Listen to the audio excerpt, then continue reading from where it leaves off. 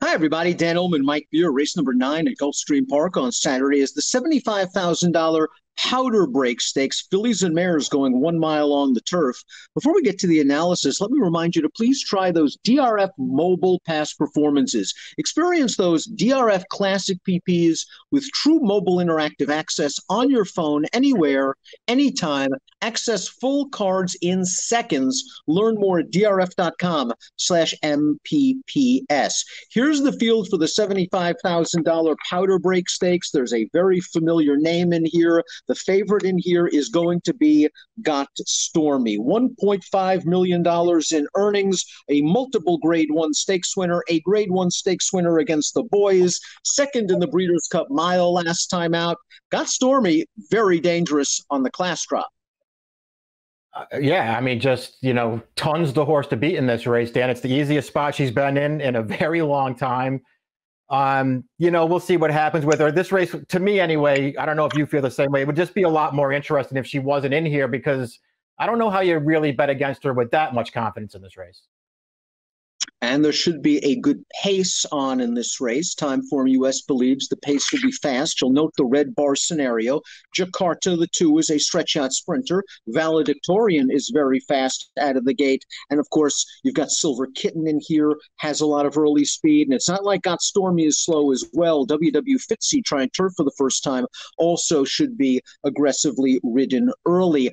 There is expected to be a little bit of weather in the South Florida area this weekend, and maybe that will affect affect this race. Some rain on Friday, perhaps into Saturday. And the number one, Noor Sahara, this is a horse that's been racing in Europe. This horse might appreciate a little bit of give in the ground, making her North American debut for Chad Brown, getting Lasix for the first time. A stakes winner in France, coming off of a layoff. Not sure about the competition she faced last time out, but not sure she liked that firm going. Uh, yeah, we'll see what happens. Chad has a really good record with horses like this, and she does look like she has some ability too. Dan, the the first win of her career last year off the layoff.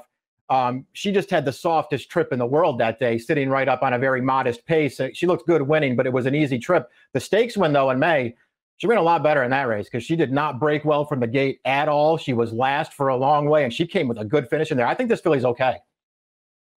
And both of those races came on going. That was less than firm. If it rains, you can move Noor Sahara up. And if the pace is fast, you would expect her to benefit. She probably doesn't have a ton of early speed as compared to some of the others. The two is Jakarta, and Michael Maker is just fairly remarkable with these kind of horses. He gets them for the first time. He makes surface switches. He stretches them out. They seem to improve. Here's Jakarta's win in an optional claiming race, first time for Maker. She got a soft trip in here. She was able to control the pace up front. They weren't going very fast. It wasn't a great great field. I do like the way she sprinted on home at the end of this race. Jakarta, I think, is the classic what if horse. What if there's not a lot of pace in the race? Well, there seems to be some pace. What about the distance? She's stretching out with a sprint pedigree. What about the class? She's taking a big step up in class. I think there's something here with this horse with some ability, and maybe she's found her right surface. She's going to be a big price. I don't want to knock her too much. Uh, she just has a lot of things to overcome from a pace standpoint. Yeah, it does. It just feels like a really tough spot. Um, and and you know, adding into that, I agree with what you're saying. You know, Maker's danger with horses like this. I just when I go back and watch her turf debut, I know she looked good winning. You just you don't go any slower than that in five furlong turf sprints. She absolutely walked on the lead and then sprinted home. And I just have to believe it's going to be way tougher for her. And here, I, I just can't take this horse. Bella Ciao is entered for main track only. So we'll move on to Valedictorian. And this is an old class horse.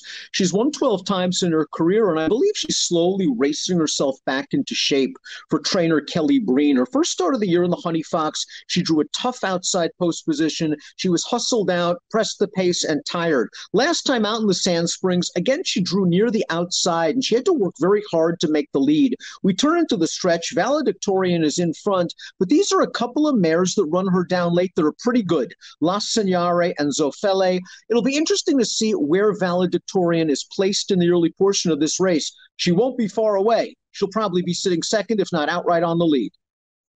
Yeah, that's how I looked at it too. I feel like they're just going to use her speed again in here. That seems to be her best running style. I mean, she didn't finish that great in that race we're just watching there, the Sand Springs, but as you mentioned, they did have to use her pretty good to make the front. She's actually very underrated. I can't say I'm a huge fan of hers, Dan, but she's an underrated horse. Danny Gargan has really gotten to the bottom of Silver Kitten ever since they decided to use her speed in the early portion of the races. She's won three out of her last four starts, including this effort, and now winners of two other than at Gulfstream on March the 27th. She went to the lead. She set a nice rated pace under Luis Saez, and she is able to hold off a decent Chad Brown train runner, Bacchanalia. This was a good performance for Silver Kitten. Cutting back to a mile, it'll be interesting to see if they decide to rate with the two speeds drawn to her inside. And I'm not sure she's as effective rating as she is as when she controls the pace. I wonder about that too. I, I think trips are going to be very important for her. Um, boy, she's another horse who really took advantage last time to win that race. I don't think she was best in there, um, but she did have the best trip. Um, the flip side of that, though, Dan, is that was a mile and eight, and that just might be a little far for her. I, I think cutting back to a mile actually works for her. I just wonder if she's good enough to beat this field. I'm a fan of Great Sister Diane, but this stakes race came up graded stakes quality, and I'm just not sure Great Sister Diane is a graded stakes kind of horse. I go back to her Monroe Stakes in September. I thought she ran really well that day at a big price. She hasn't been able to replicate that performance against better horses. She's going to get a good pace set up in here. Maybe you could try to sneak her into the bottom of single race exotics at a price, but it just looks like she's found a tough spot. Yeah, I think we look at her the same way. I'm a fan of hers too. I actually think she's pretty good. I just I don't like her in this race. I think this race is going to be too tough for her. Interesting runner off the layoff up next, the number seven Valiance for Todd Pletcher. This is a daughter of Tapit who won all three starts last year as a three year old, including this effort, the Open Mind Stakes at Monmouth. I thought Nik Juarez gave Valiance a nice trip in this race, settling her in behind the lead, coming to the outside. She's the gray filly. I didn't love the way she finished this race up, but she beat four next out winners, including one that came back to win the Stormy Blue Stakes at Laurel with a 90 Beyer speed figure. And we know Pletcher is excellent off layoffs. Yeah, you don't have to worry about layoffs at all with this barn. Um, they just always come back running. He has um, great stats, especially with turf routers as well, Dan. So I- am not worried about the layoff. I do think this spot might be a little tough for her, but I really like um, all three of her races last year as a three year old. I think she showed some real talent, and I really like her running style too. She has speed, but she's very handy. I can see her getting a really good trip here off the layoff. Chad Brown trains the European Invader down on the rail. He also handles Tapit Today. And Tapit Today is a very lightly raced mare, and this is another mare that has some upside. Her last race was the Swanee River. We're going to look at that effort right now. She's going to finish third, but she really did some work the middle portion of this race. She's the gray in between horses, ducking down towards the inside. She went after the leaders early. The pace was solid, and she pays the price. The winner of this race, Starship Jubilee, is just really good right now. She came back to win the Grade Two Hillsborough with a 94 Beyer. She's won five out of her last six starts. Tapit today, this time around, is going to have others do the dirty work. Yeah, that's what I thought too. I think the trip could really work out a lot better for her this time. I, you know, we can go back to her as a three-year-old in 2018. Dan, I was a real fan of hers. I thought she really had some potential for Chad Brown. Obviously, her campaign got cut a little bit short, and she missed a lot of time. But I really liked her return from the layoff at Tampa. And as you mentioned last time, I mean, she wasn't going to beat Starship Jubilee. She probably ran the second best race, though. She did not run poorly at all in that race. Goodbye Broccoli, a little bit of a reach on paper for this New York bred. She is in good form. She just won an off the turf race last time out. She's slowly running herself back into shape in her third start of the form cycle. But this is a mare who, for a very long time, was just stuck in the non winners of one other than condition in New York, and she's facing a vastly tougher field here.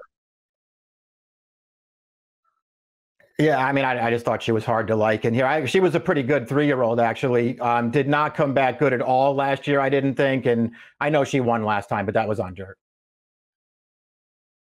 Here's the horse to beat. Got Stormy. She just had a sensational 2019 campaign. A great multiple grade one winner. Beat the boys in the Fourstardave. Second in the Breeders' Cup Mile. Second in the Woodbine Mile. Both against males.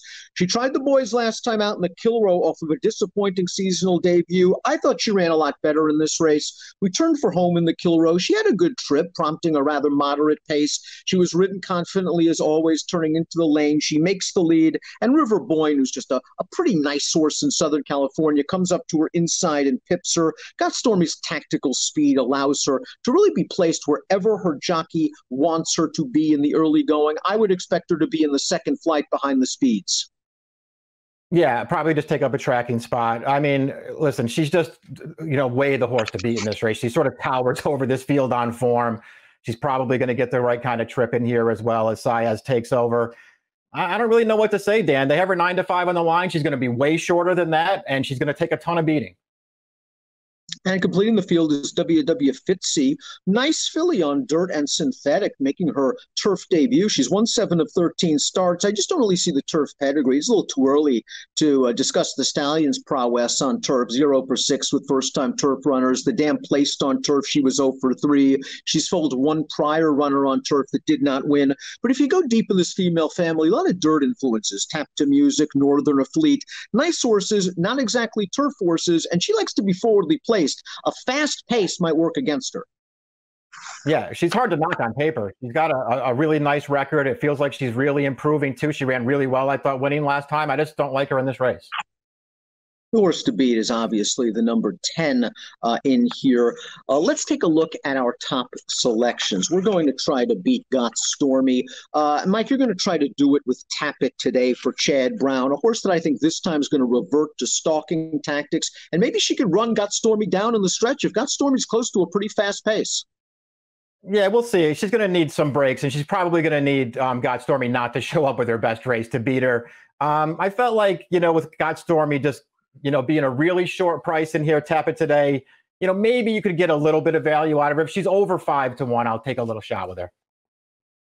I picked Tapit today third. I picked Got Stormy second. This race is just a stab for me. Something tells me that Jakarta is going to be sent from post position two, stretching out by Edgard Zayas. And something also tells me that the two other speeds in the race, uh, Valedictory, uh, and Valedictorian and Silver Kitten, are going to let her go. I don't think they're going to show her a lot of respect stretching out. I don't think they think she's going to stay. And maybe she can steal this on the lead for a very dangerous trainer in Michael Maker, but I don't want to have too much money in against got stormy. 210.87 for me, 810.71 for Mike. It's the $75,000 powder break, approximate post time for race nine at Gulfstream, 452 Eastern. Good luck.